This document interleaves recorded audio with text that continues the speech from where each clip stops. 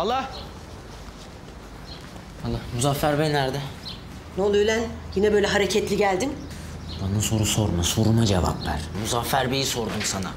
Evde mi değil mi söyle. Telefonu kapalıydı. Oğlum geldi şimdi işte ya burada. Ne oluyor be? Söylesene. Bak. Oğlum nereye gidiyorsun sen? Allah Allah bu yine ateşe yürüyen pervaneler gibi gidiyor. Ah cesur yürek ah.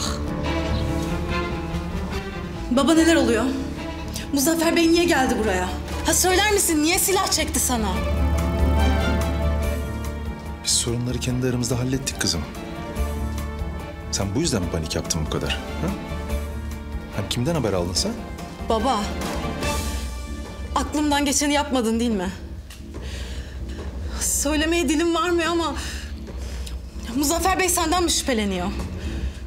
Sadece kıskançlığından buraya gelmiş olamaz. Kayıp karısını kıskandığı için buraya gelmiş olamaz. Sen ne demeye çalışıyorsun kızım? Baba sen mi yaptın? Bana doğruyu söyle. Nefise Hanım'ı sen mi kaçırdın? Bir yanım babam o kadar ileri gitmiş olamaz diyor. Ama diğer yanım anneme yaptıklarını düşününce... ...annemin mahvoluşunu seyredip hala gençlik aşkının peşinden gittiğini hatırladıkça... Ya baba ben ben kafayı yiyeceğim. Yapmadım de. Ben yapmadım de.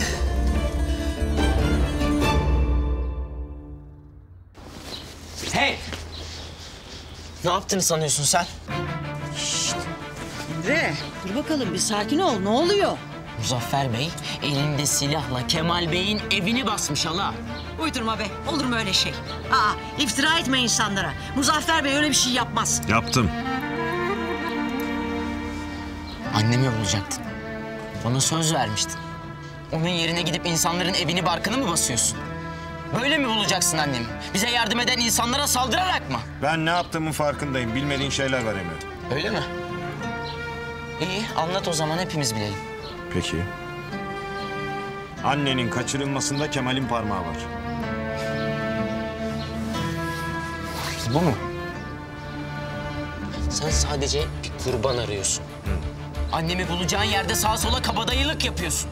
Tek istediğin kendi vicdanını hafifletmek. Biliyorum Emre. Nefise'yi Kemal'in kaçırdığından adım gibi eminim. Ve onu nerede sakladığını bulacağım. Hepiniz de Kemal'in gerçek yüzünü göreceksiniz. Senin saçma sapan kuruntuların, paranoyaların yüzünden vakit kaybediyoruz. Annem şu anda senin yüzünden can çekişiyor hatta... Yeter be!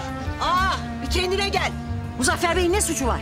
Annen hastaneden kaçırıldı. Onu polis bile bulamıyor. Muzaffer Bey mi bulacak? Azıcık mantık ya. Bırak beni Allah. Bırakmam. Bana bak. Adam didinip duruyor anneni bulmak için. Tamam mı? Sen öfkeni Muzaffer Bey'den çıkarınca annen zembille gökten mi inecek? Yürü be yürü. Yürü içeri. Biraz sakinleş. Aklın başına gelsin yürü.